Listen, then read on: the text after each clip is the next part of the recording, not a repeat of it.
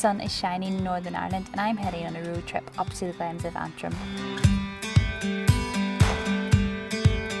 The Antrim Coast Road was actually built in the 1830s and spans a massive 160 kilometres around the whole shoreline.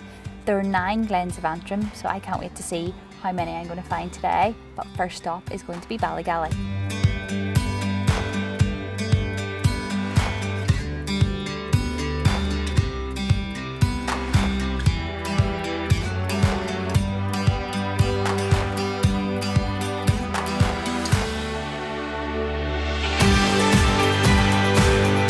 Heading to Glenarm, which is actually the first of the nine Antrim glens, is actually a wooded glen and it forms part of the estate belonging to the Earl of Antrim and of course Glenarm Castle as well which was formed in the 1750s.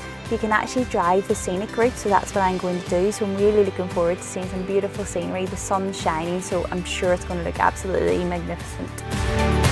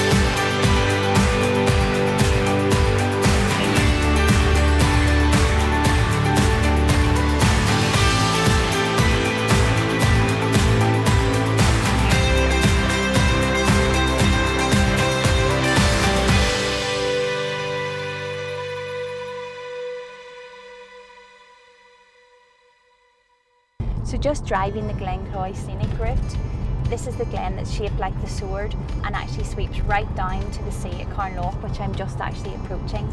This glen is actually surrounded by white chalk quarries and a really distinctive feature is the white chalk arch that is actually on the coastal road leading through to the harbour at Carnlough. So you'll see that um, as we head towards Carnlough now.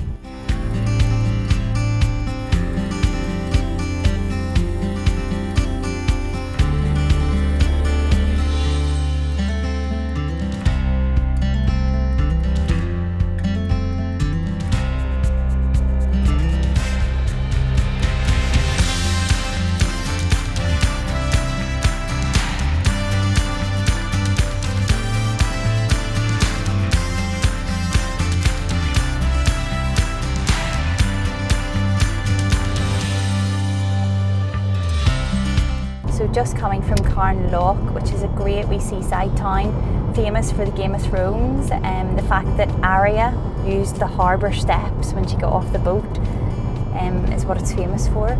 So um, great wee town to stop off, get some ice cream on your way along the Glens of Antrim tour.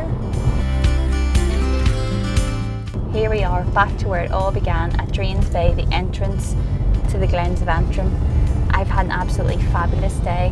The sun's been shining, the scenery's been amazing, and there's been loads of stops along the way, which has probably waylaid me a little bit. So we definitely can't wait to get up the Antrim coast again and do some more exploring.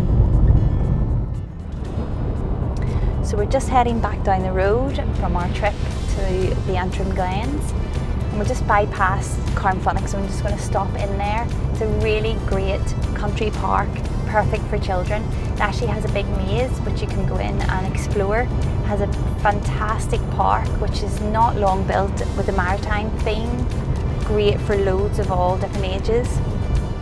If you're a walker there's actually five different designated routes as well so you can walk up hill, you can go around through the wooded area and there's loads of events held on throughout the year as well so you should definitely keep an eye on their website for things that are happening. But it's just a really lovely scenic secluded place to go for a nice calm peaceful walk